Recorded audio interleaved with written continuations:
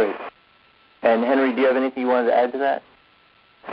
No, adaptive optics, it's really become, uh, like Mike was saying, a, a tool in our kit. You, you no longer have to be an adaptive optics specialist in order to use adaptive optics. It's just like another camera at most telescopes these days. Great. Okay, I don't know that we have any other questions, so I'm going to ask one final one in a second. I'll remind anybody on the line that uh, if you do wish to ask a question, just press star one and be placed into the queue, uh, or you can send a question to webcast at nsf.gov. Um, but in case we don't have others, just we'll close with this, and that is, what are you hoping to see next on Titan? If you're going to focus there, uh, what are you looking for? What's the next focus? Well, we're certainly going to continue to watch Titan. So far, we've only been observing Titan for a relatively short fraction of its year, just one season or so. Titan's year is 30 Earth years long, and we've been observing for the equivalent of January, February, and part of March. So there's an awful lot for us to still learn as we continue to observe Titan over the following coming years. We're going to continue to use multiple telescopes. Um, the IRTF is a very important part of our, our repertoire, as is Gemini, as are some smaller telescopes that we're bringing online.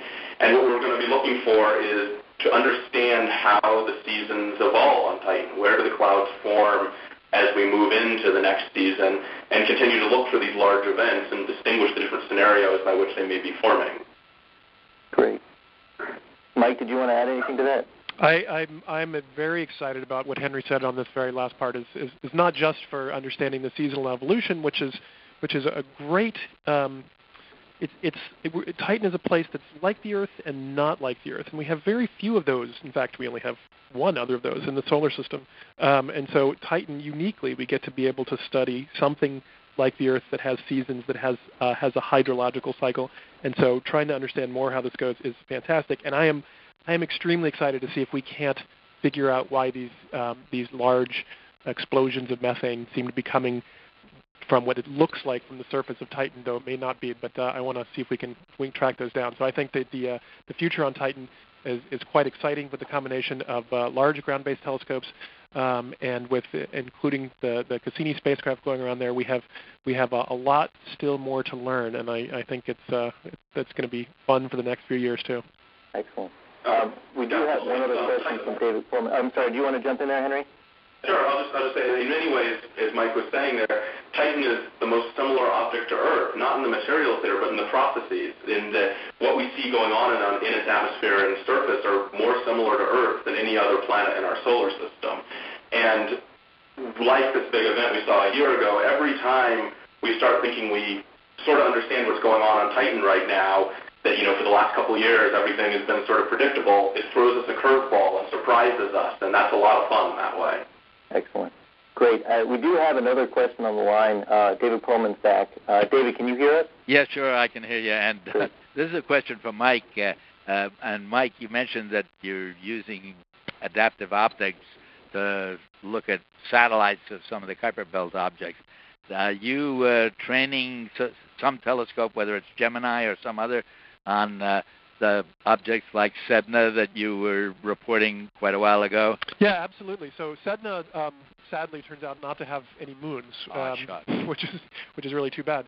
Um, but we have, with, with adaptive optics, both at, uh, at Gemini and at the, at the Keck Observatory, we've been observing the satellites of, uh, of Haumea. This was the one that was formerly known as Santa, formerly known as 2003 EL61, has two satellites around it, and um, in, in very much the same way, to, to study a system that has two satellites, those satellites are changing so quickly and interacting so quickly, we were having a very difficult time figuring out um, what they were doing.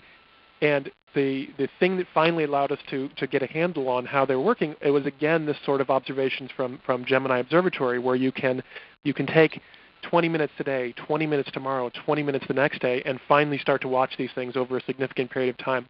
We've also been observing uh, Dysnomia, the uh, the satellite around uh, Eris, and uh, and so it's been it's been a great ability to be able to do these things from these these nice telescopes here on the ground. Thanks. Thanks, David. Um, I'm going to go ahead and, seeing that we have no further questions, I'm going to go ahead and remind everybody that this is all embargoed. Um, it will be available for you if you need to use it to file uh, your stories um, right after the call, and I'll give you some information to get that in a second. Um, but this is all embargoed until uh, Wednesday at 1 p.m. Eastern Daylight Time. Um, Right now, though, I'll just go ahead and thank our guests for joining us today. Uh, Henry Roe from Lowell Observatory and uh, Mike Brown from Caltech. Um, we'll be in touch with you guys throughout the week. If uh, any of the reporters on the line wish to get in touch with them one-on-one, we can make that uh, very easily done. Um, there's more information out there in the form of press releases. There's one from uh, Gemini, one from Lowell, one from Caltech, one from Hawaii, and we'll actually have one up there shortly as well. Uh, for contact information for all four of the study PIs uh, and the media officers, if you want to get somebody on the ground to go knock on doors, um, and to get visuals and other materials, just give me a call anytime at 703-292-7730, or you can reach me by email at jchamot at nsf.gov. Uh, and then I also want to remind everybody that there's another webcast here tomorrow at 1 o'clock. It is also embargoed, and it is also in regards to this upcoming nature uh, issue. Uh, this one is about increasing hurricane activity. Um, in short, the Atlantic hurricane activity in the past 10 years has been uh, as strong or stronger than any time in the past 1,500 years, apparently. Uh, and warming ocean temperatures may be the reason why. Uh, you'll just come right back to this website. Your password uh, will be WINDS, W-I-N-D-S, and the uh, username, which will appear first, that's going to be webcast, both lowercase. Uh, and that's all. So again, hopefully we'll see you tomorrow, and thank you for joining us. Right now, though, I'll just go ahead and thank our guests for joining us today. Uh, Henry Roe from Lowell Observatory and uh, Mike Brown from Caltech